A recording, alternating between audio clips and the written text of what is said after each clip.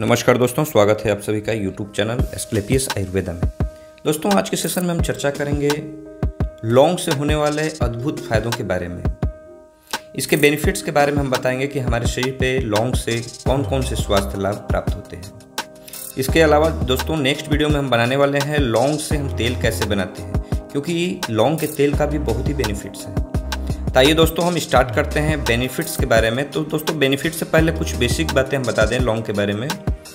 लौंग को हम अधिकांशतः मसालों के रूप में इस्तेमाल करते हैं। लौंग का जो वृक्ष होता है, उससे नौ वर्ष पश्चात इसकी फूल को कलियों के रूप में सुखाकर लौंग हमें प्राप्त होता है। इसका बॉटनिकल नेम की अगर बात करें तो इसका बॉटनिकल नेम है सीजियम एरोमैटिकम इसमें कई औषधीय गुण पाए जाते हैं, जिसके कारण हमें कई स्वास्थ्य लाभ प्राप्त होते हैं। उन्हीं स्वास्थ्य लाभ के बारे में हम आज लौंग से होने वाले नौ फायदों के बारे में हम बात करें आइए दोस्तों, वीडियो को स्टार्ट करते हैं। सबसे पहला फ़ायदा है, सिर दर्द को कम करने में एक काफ़ी कारगर औषधि है। दूसरा नंबर है, दांत के दर्द को ये कम करता है। कैसा भी असहनीय दांत की पीड़ा हो, लौंग का तेल लगा लीजिए या लौंग दांत के तले रख लीजिए, दांत का दर्द थोड़ी देर में छू मंतर हो जाएगा।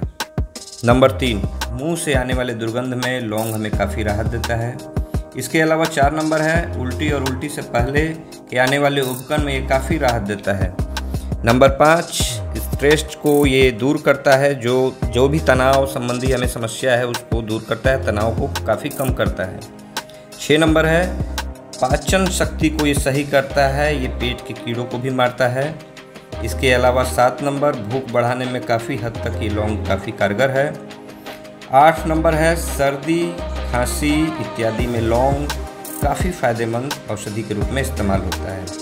नौ नंबर है ज्वाइंट पेन इत्यादि में काफ़ी राहत देता है। लौंग के तेल को जहाँ भी ज्वाइंट पेन है, वहाँ पे लगाने से ज्वाइंट पेन में काफ़ी राहत मिलता है। दोस्तों, ये थे लौंग से होने वाले कुछ फ़ायदे जिन्हें आपको हम इस वीडियो में हम बताए। आई होप आपको ये जानकारी अच्छी लगी होगी। तो दोस्तों, यदि वीडियो अच्छा लगा हो तो लाइक करें, वीडियो को अधिक से अधिक दोस्तों के बीच में शेयर करें। जो दोस्त नए हों प्लीज़ वीडियो को सब्सक्राइब करें। तो मिलते हैं नए वीडियो में नई जानकारी के साथ। धन्यवाद।